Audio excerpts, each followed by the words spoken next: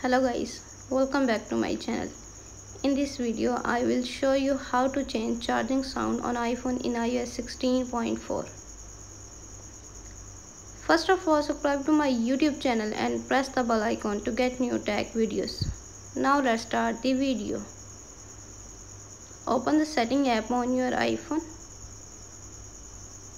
On the setting page scroll down tap general on the general page, tap software update.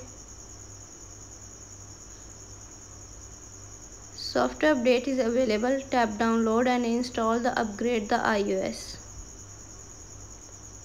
Then go back setting page.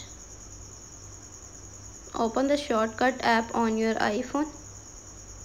Click on automation. Tap on create personal automation.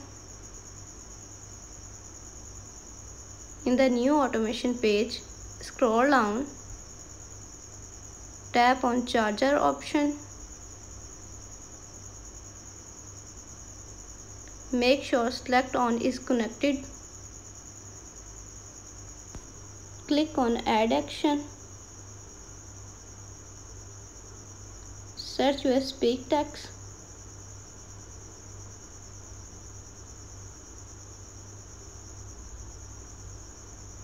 Speak name is charging time.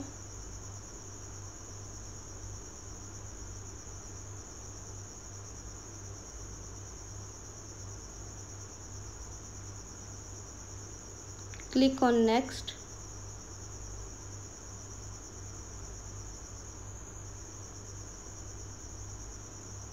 Make sure ask before running is toggle off.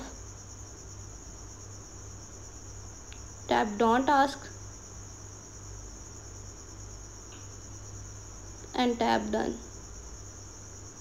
Thanks for watching this video